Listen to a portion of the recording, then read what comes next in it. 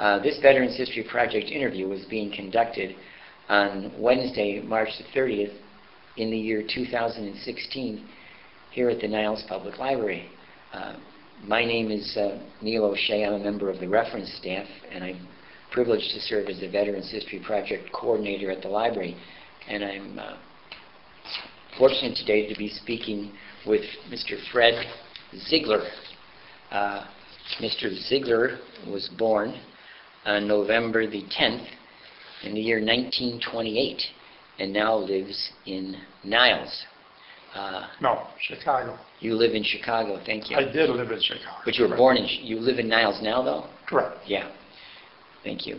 So you were born uh, in 1928 in Chicago, and you now live in Niles. Correct. Uh, And Mr. Ziegler learned of the Veterans History Project through the breakfast, I'm wondering, through the annual breakfast? Correct, yeah. Okay. Uh, And he has kindly consented to be interviewed for the Veterans History Project. Uh, And here is his story. Uh, Mr. Ziegler, how would you prefer to be addressed during this interview? Fred. is fine. Fred is Okay, fine, yeah. Yeah, yeah, and we're very, we're especially uh, favorably disposed toward, uh, toward Fred because he has uh, made a gift to the libraries of the Chicago area, uh, uh, a history, pictorial history of the Victory Division, the 24th, and its service in Korea. And after we display this at the library, we hope to be able to convey it to the uh, Pritzker Military Library in downtown Chicago. So thank you for sharing that also. Sure. Okay. Uh, Fred, uh, when did you enter the service? Uh, September 28, 1950. 1950. Yeah, And at that time, you were living in Chicago. Chicago. Do you recall what you were doing at the time? I was working as a auto mechanic. Yeah, Um, so at that time, um, you would have been about 22, almost 22 years of age? Correct. You're yeah. late 21. Right. Um, I had just gotten uh, engaged two months earlier. oh, my goodness. So it was a surprise when I got the, the draft notice. I certainly didn't want it, you know, at Yeah, the time. the fact that you're engaged, that doesn't cut any ice. Not right? a thing. Not a thing. No. And then, uh, if I may ask, where had you gone to, uh, to high school in Chicago? Lane Tech. You were a Lane Tech Indian. Yeah. Yeah, yeah, terrific school. Yeah. Um, so you were drafted, so you, you didn't have a choice of, of service. You were Right. drafted into the U.S. Army. Yeah. Yeah. And do you recall where you were inducted? Or, Oh, somewhere along Clark Street is where the place was, Clark, and I'm going to say Barry Avenue. There was a second-story office up there where they wanted us to come into. so that know. was kind of like North Clark then, right? Yeah, correct. Barry's about block south of Belmont or something, I think. Mm, Just about, Yeah, right. 3100, yeah. Right. yeah. Do you recall what your first days were like in the Army? Was it a big change? Not much of anything. Uh, we went down there, and uh, we had not gotten to a point where they had an outfit aligned yet for us, you know. So we waited a week, we waited the second week and third week, and finally they got a group together, and those guys were sent to Colorado. Uh, my name being Ziegler, I was at the end of the line. So I just waited so that, till they got it, and they, they got their quota of men, and they went. And I stayed behind, or two of us stayed behind. So when you say you stayed behind, you were staying behind at, That's Fort Knox. at Fort Knox in Kentucky? Correct, right, So you went down there by train or bus? correct. But train, Train. Yeah. And then did you complete your, um, your basic training down there? correct. Well, they had another, another outfit was Camp McCoy, Wisconsin. I missed that one too. So apparently they had enough men, enough there to start another company of, uh, of, uh, basic training, you know, for us. And then we stayed at Fort Knox for the basic training. And then later we stayed there for the secondary training of specialized, which was tank training. And I became a tanker. So, um, when you say tank, you mean a motorized vehicle? You don't mean Correct. a, an oiler or anything like No, that? no, no. yeah. So you did the, so the basic training is like six, eight weeks? Eight weeks. Eight weeks. Yeah. And then you were, the specialized training in the, in the tank, Right. Did that also take place at, at, uh, Fort Knox. at Fort Knox? Right. Must That also was about eight weeks. also, that must be a big base. It had, to- it had been closed for after World War II, and they were reopening places because of the war in Korea. They needed uh, soldiers, you know, training and everything, so we bumped into when we were really, everything was uh, old from the World War II, you know, and we had to be re, uh, oh, we had to be uh, outfitted, you know, with whatever we could get there at the time. And then the equipment, I suppose, was Right. gradually upgraded. Right, and we went into the winter of 50, which was pretty cold, and we didn't have any field jackets yet, you know. They had to get some from somewhere and ship them to Fort Knox so we could have something that was warm. Yeah, Wow. yeah. Um, was that your first time away from home, or were you called? No, no, I'd been up to Wisconsin several times. I like fishing. Oh, so there were any uh, memorable drill instructors, or, uh, Yes, we, uh, the, the platoon leader we had was actually 17 years old. He, he joined the army underage, and he was a very brusque young man, you know, and none of the guys wanted to take it from him because all of us were in our 20s already, you know. But he was good, and he knew what he was doing, you know. yeah. And then, um, so you didn't mind the food or the No, regimen, or No. you, you're realistic about it? yeah. So then after, um, so then after boot camp, you went to another, uh, At the boot camp, no. I stayed there again. Uh, They never had another assignment again. Uh, So what we did, they signed us to uh, the motor pool to drive buses. And what we were doing is driving uh, officers to the tank range, you know, to, for their training, and then we would pick them up and bring them back. And then another period of time, I was a, uh, I volunteered to be a KP, primarily because there was nothing to do and you get bored. That lasted about a week or so. And then after that, I volunteered for the post office. And I, we had to forward mail. Everybody was being forwarded all the time, so you had a lot of mail that had to be sent to the guys that were, that had left the camp. So, yeah. So, um, when did, when did you depart for Korea then? Uh, that was somewhere in May of 51. We, uh, after we got through with this training, we got a, finally got our assignment, which was the Far East Command. And we got a 30-day leave at that point, and we were to go home and then uh, leave from Chicago aboard the El, El Capitan to California, you know. And that was about the middle of May, yeah. So there were, were there, um, some guys from the unit then, you were, you went through basic One- training together and then you Right, also? just one. He Oh, came just to my one. house Oh, in Chicago because we had a leave from Chicago. that makes- So we, we went out there together, the two of us. yeah. Yeah. So, um, in civilian life, you, had- you had been an automotive mechanic. Right. And so that, the Army made a good, good choice of, Well, we didn't know that you yet. didn't know that. No. You, when you go overseas, you're, you're blank. And once you get to, we got to Yokohama, at that time, they started processing papers, you know, to put everything in order. I don't know what they do, but I mean, from there, from Yokohama, then we went to the, the Yellow Sea, which is on the west side of Korea. So, Yeah. Did you make that journey by ship? yes. Did you get sick? In the North Pacific, we did, yes. That was very rough weather, yeah. The one thing that's difficult is going to the bathroom when the ship is going up and down. you know. Did you, um, did, was there like anybody going stir crazy on the ship for lack No, of, not no, particularly, no. It's just boring, boring? boring, day Play after day. cards or something, or? Yeah, Yeah. yeah. So then you, um, you land in Korea, is it? Yeah, Yeah. June 10th, Incheon. that was a beachhead several months before. You know, they, after the, uh, the uh, Chinese came down and pushed us all the way back down to Busan, then they had to come back up again.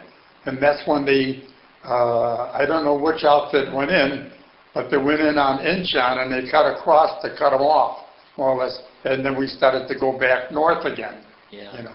I think that was reckoned to be a kind of a brilliant uh, military Strategic. strategic move on Yes, MacArthur's very part. much so, Yeah, yeah, yeah. yeah. So then, uh, so then you came in on, at Incheon then after it had been, after this, After the, uh, the invasion of it, yeah. yeah, the invasion. And so at this time, do you know that you're, you know that you're going to be in a, No, still don't know? still don't know yet. Okay, But uh, we went on a train, and from train, we started to go north. Uh, We don't know where we're at, you you just, you're there and you're going, you know. And at the terminal where we ended up at, we got on a truck. And at the truck, we took another trip for wherever we were going to, you know, to, to engage with our outfit. And then once I got there, they apparently knew that I had been a mechanic, and they signed me to the tank, the tank company, you know, the sixth tank, tank battalion is what it was. And at that point, they dropped me off there, and the rest of the fellows that had gone up to probably infantry. So I stayed with the outfit there, and uh, that was it. And I was there. And I stayed there for another seven months. yeah. And then your, your, your one buddy who came up to you with Chicago and went out, was he with you at this time too? No, Oh, no, he split off somewhere else. Yeah. Oh, Never saw him anymore. so was it, um, when did you get, you were promoted to corporal at one point, right? Yeah? Right, well, I got uh, private right there, private first class, and then we got corporal with- within about a month or so, you know. Uh, The the thing was happening actually is we were replacing the original soldiers that were there, you know. And as we came in, the newcomers came in, we would replace one, two, one, two. And these were the guys that had uh, rank. And as we came in, we got rank as far as that goes too. Uh, And I'd say within a period of a month or so, we replaced all the soldiers that were there to begin with, that started the war in uh, Korea. The, they came from uh, Texas, is where the 6th tank was uh, originated at. And the division was actually out of, uh, of uh, Hawaii. And just recently, there was an article that the 24th was abolished. It was, uh, broke up. Was, there's no more. There's no more 24th Division. See? So whoever took over that, so. But, uh, we did what we were supposed to do, and we got quite a few commendations from headquarters because most of the tanks we got, we got them in and we got them out, you know. And we did a lot of work that, uh, uh, was usually sent down to, um, I can't think of it now. It's a, it's an area where usually they send the material up from, uh, the base, you know.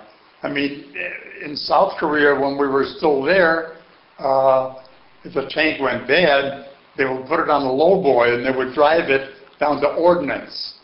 And once we got up to North Korea, it was all mountains. You couldn't do anything with the tank. It was just too dangerous to go through the uh, mountain passes to get out of there, you know.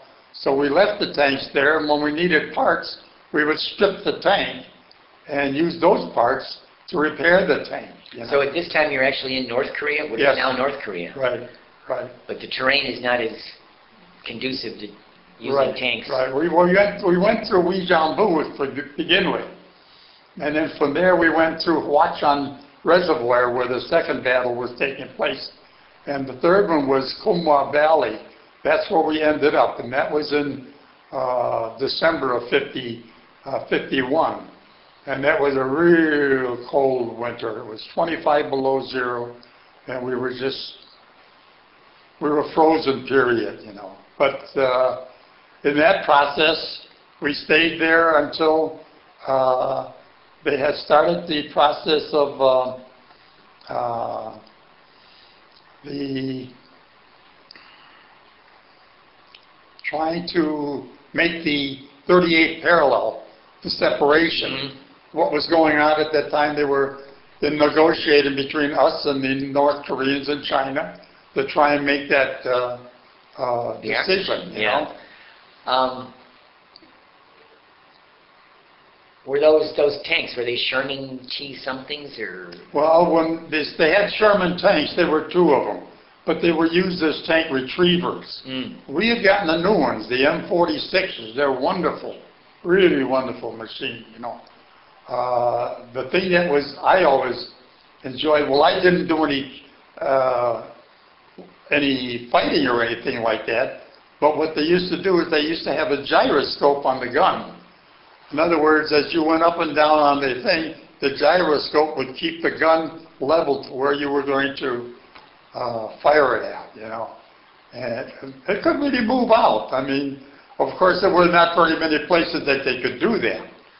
But there was one thing that had happened, this was told from the guys before, when the outfit was down in Busan perimeter, that was earlier in 1950, they kept the, the tanks on train, train cars because they had to be moved back and forth, you know, and they were firing off the tank cars at the enemy. Wow. And then as they finally got through with the Incheon invasion, they could move off and they moved them north, you know, Yeah. the North Koreans and the Chinese. Yeah. So if, if you're if you're working on cars, automobiles, Mhm. it's not that difficult then to transfer to working to on on tanks. It's a little different. it is a little different, I bet. It's called bulwark. Everything was heavy. Everything was heavy, you know. To pull a tank engine out of that, which is what we had to do, uh, we had to separate it. If a transmission was bad, put a new transmission in. See, we couldn't send the truck down to, the tank down to ordnance. They sent the transmission up there and we used to separate them, put them back. That was way beyond what our nomenclature was supposed to be, you know. What ours was supposed to be is start them, clean the battery terminals, you know, things like that. My particular job was uh, uh, adjusting the, the junction boxes inside the tank floor. Uh, What it was, was a, uh, a little Joe, is, was a small 10 horsepower engine, plus the other one, which is about, I don't recall, but I think it was a 1,300 horsepower. It was a 12-cylinder engine, you know. Uh, But they had to have uh, a generating system that was strong enough to start these big engines, you know. And I had to adjust those uh, uh, relays so they would always produce at least 16 uh, volts of, uh, of power for the batteries to receive them, you know, so. The um, does the cold weather affect the ability, the functioning of the mach- machinery? Oh, yeah, sure, yeah, yeah. One of the pictures there is is in a tent. That one, yeah. You see, there's snow on the ground here, but they put that tent up so we could work inside rather than being outside. Yeah. Yeah, The maintenance tent. yeah. Wow. During the summer, there was nothing, you did everything outside. When I got there in June, in July and August, I mean, when you worked on the tanks outside in the sun, they were just like hot, hot metal, you know, they just seemed to absorb the sunlight. Difficult. Yeah. Did you get any um, um, R and R or, or Oh, yeah. rest periods in Mhm. Japan or something? Yeah, in October, uh, we were ready, we were rotating, one or two guys at the time, and we got four days, R and R, they flew us into, to Tokyo, and I stayed at the Demiji Hotel, really classy, but it mean it had been just redone for all the soldiers to be there, you know. And it's right next to the Imperial Palace, so when I, we had the time, I walked out and I walked around a little bit. I stood outside the Imperial Palace just to look inside, Yeah. because you're not allowed to go inside, Yeah. so. So you, Yeah. you liked Tokyo or the? Well, I didn't do much, you Yeah. know, yeah. What you did, you did a little drinking, you know, and you talked to the guys. There was a stadium right next to it, you know, and they were playing football. The Japanese were playing football. So this other friend of mine from our outfit, Willoughby, he went, him and I were the ones that went this time, so we sat in the stands. The problem was we were drinking a little bit, you know, so. Beer? Yeah, Yeah. yeah, yeah. And of course, we had a little bit too much, so we left, you know. Yeah, So how were the, um, the rations or the food in Korea? Was it, good. Good food, yeah. was that Korean food or was it? No, no. Was American? American food, Yeah. all the way, yeah. Yeah. yeah. Did they, um? so Three meals, always three meals Yeah. a day. But once in a while, if you were away, uh, and they didn't have anything, every vehicle had a, uh, ration pack in it. So you could pick up a couple cans, you could always have something to eat. Yeah. No. The, um, were there any USO shows or visiting entertainment? There was one close by at one point, and y y not everybody could leave, so we had to kind of find out who's the one that's going to leave. I don't know if we had raffles or what it was, but I'm sure it was Bob, uh, Bob Hope was the one of them, yeah. So, um, you mentioned uh, the football game in Japan, and then do you recall any other particularly humorous or unusual events? No. That was probably just a little highlight of being in the service, you know. Yeah. Being somewhere else, Yeah. yeah. So, um,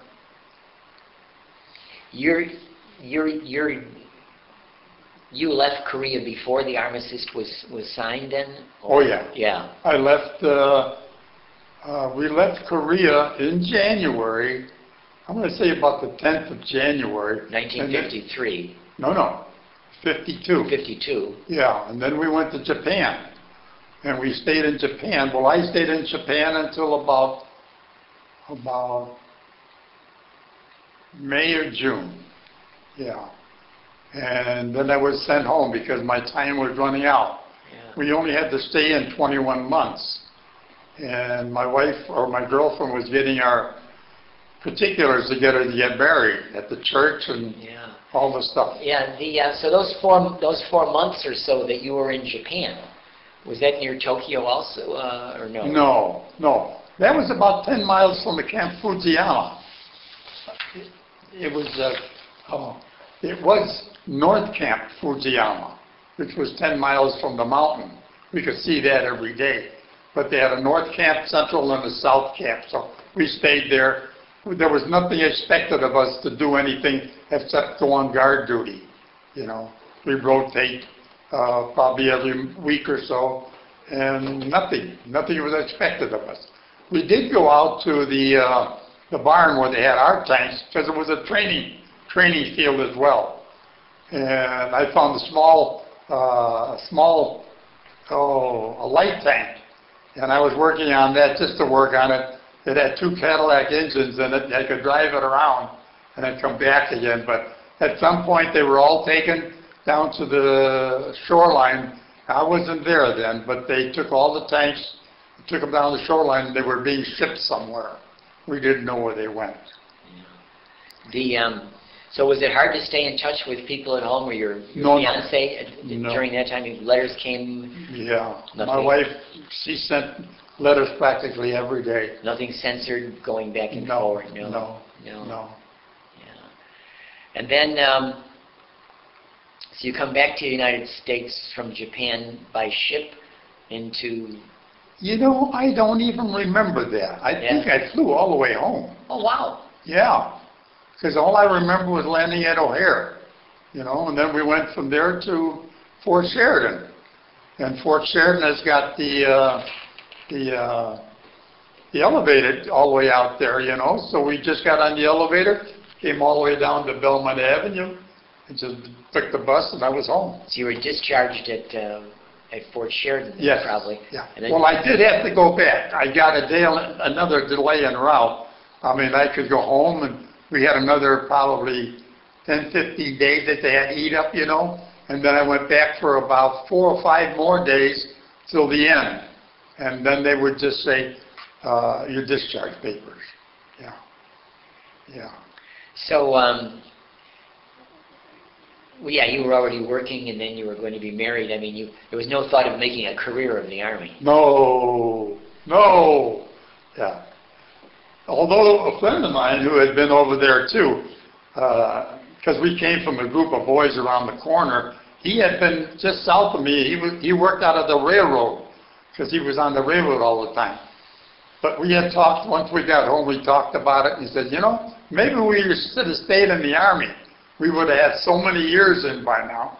We would have definitely been sergeant or something, you know. Once you get up in the rank, you don't have to do a heck of a lot. You get everybody else to do the work, you know. Of course, that was only come see, you know, we never did anything about it. We, we let it go. Yeah. So, um, so the lady that be, that your, your, your fiance, she saw you in uniform then? Oh, yeah, sure, Yeah. yeah, yeah. Yeah. And then, um, when you mentioned the boys in the corner, was there a neighborhood that you used to? Yes, What, what was it? school in Southport, School in Southport? yeah. Yeah. You know, the Lincoln Belmont, Lincoln Belmont, That intersect, that yes, Damon or? Ashland, Ashland, Lincoln, and Belmont. Yeah, that's busy. Was a very busy site at one time, you know, Yeah. When we were kids, yeah. Was there a Wieboldt's store there? There was a Wieboldt's there, there was a Goldblatt's there, the Belmont Theater, the Lincoln Theater, City Theater. Oh, gosh, it was very, very busy, yeah, as kids. I think I read once that that was the, next to State and Madison. that You're right, it was, it was that, that busy. Yeah. There was a bank there, Lakeview Trust and Savings Bank. It was the only one that survived outside of downtown through the Depression, through the, when the, the, it- the economy caved in on the, on the 29th of uh, October. Yeah, The only one that stayed open. yeah. And um, was there a tradition of military service in your family or? Well, my father was in the war in Germany. Yeah, He, he and my, he and his brother were machine gunners. They got in the army when they were 16 years old. And where they were situated, nothing ever happened, see? So he was okay with that. Yeah. so, He'd get a horse step on his foot, so he did have a, a slight limp. Yeah. But, sure, and then Ziegler is a German name probably. is it? Yes. Yeah, yeah. yeah. Southern Germany. Southern Germany, Mhm. yeah. So then you didn't, uh, you didn't have any trouble transitioning back into regular life because it No, was all, I went back to where I had a job before, and he took me back. And uh, it was a small auto repair shop. We did trucks as well as the thing. There used to be a, an area called George Street, and it was a lot of uh, meat packing, provisions, uh, all kind of stuff like that that was going on, you know. Uh, So there was always work to be done. yeah.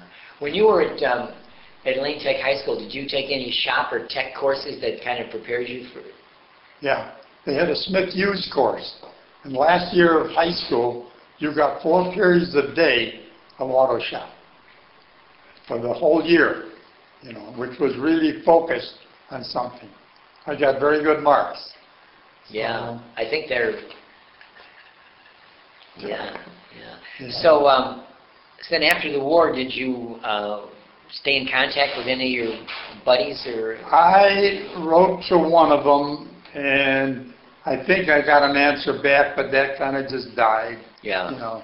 So did you, did you, did you join a veterans organization or anything like that? Not right away, Yeah. no. Uh, This other fellow that was there in, in Korea at that time, he joined an outfit that was the guy, the guy that owned the tavern, uh, he belonged to one, so he wanted him to sign up, and then he got me to sign up.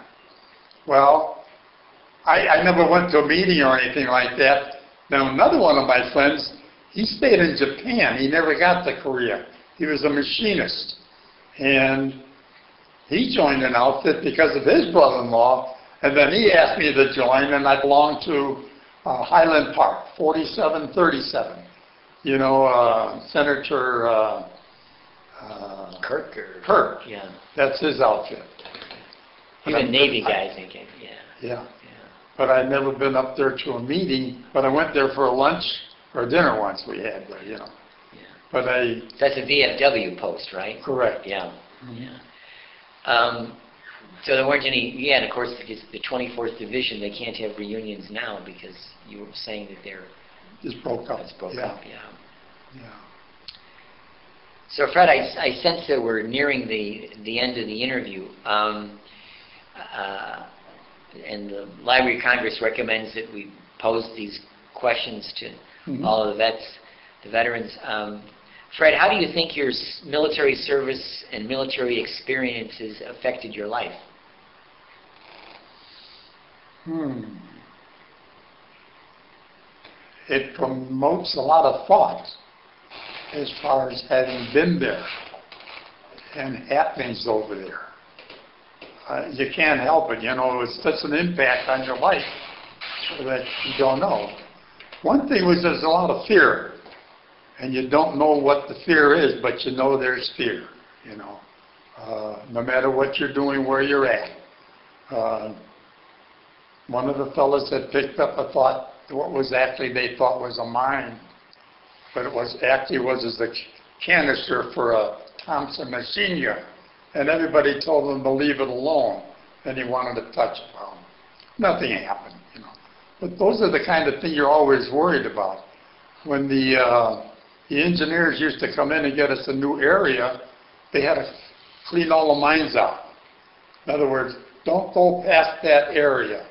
That's your place, stay there, you know.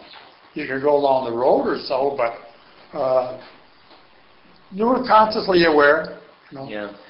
Um, do you think your, uh, your military experience uh, has influenced your thinking about war or about the military in general?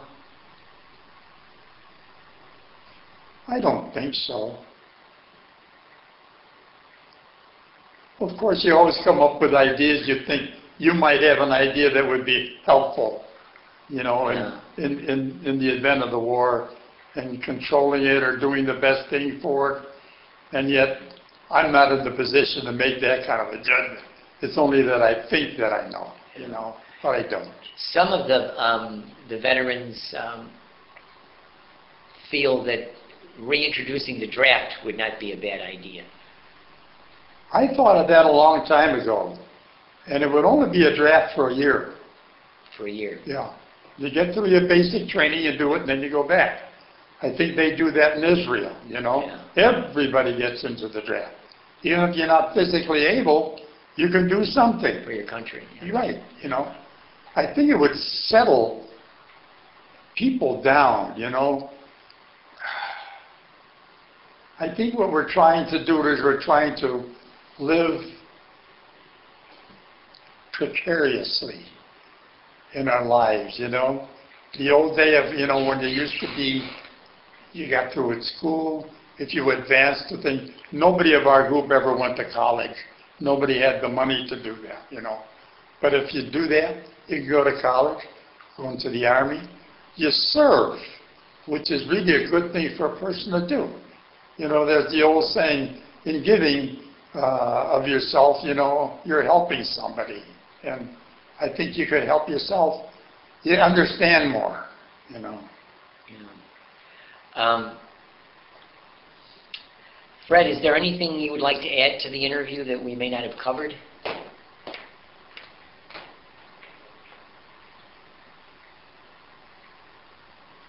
Oh. Well, there was a period, we had to go down to the D company. We had to replace the transmission in it. And I got dysentery. And I got dysentery bad. And there was a MASH unit there, right there with the group. And uh, they gave me some ad- uh, penicillin, got me on a plane and shipped me down to Busan. And I was down there for, for two weeks but I was, uh, I improved, got better, and went back to my outfit, you know, so I said, that was terrible. Oh, my goodness. I'll tell you. I bet you lost weight. I did lose weight, yeah. Yeah. Not much though, but, yeah. And the medical care was, was good? Yes, Yeah. yeah. And the dysentery, that was brought on by a bug or a germ or something? Uh, Probably something I had eaten, Yeah, you know? The only, the only other thing I think that you can remember that I've always shared, when we're sitting on that, that ship out in the Yellow Sea, you know, all you have to do is inhale. And it smells like the outhouse in the forest preserve. why is that? because they use all the waste for fertilizer. They call them honey buckets. They get the buckets, you know, they put this board there. Yeah, And they carry it, they carry it right out to the rice field. They don't have any that they can buy or anything like that, they use that. So the whole country smelled like shit. that would be a memory, Oh, goodness, yeah. You got used to it, Yeah. you yeah. know, so. Yeah, uh, the, South Korea is an impressive nation today. Yeah. When they had the, uh, they had the uh, Olympics, I don't recall, it was probably 10 years ago or so, to see what they had built up, it's, it's amazing. Yeah. It's really amazing. And they're really, um, we had a, uh, remembering the Korean War, uh, exhibition here, put together by Mr. Chin Lee. Mhm. And, uh, he and his associates are so thankful to the, to the American veterans for what they, uh, yeah, for saving their country. You know, I don't doubt, he came over to our house once.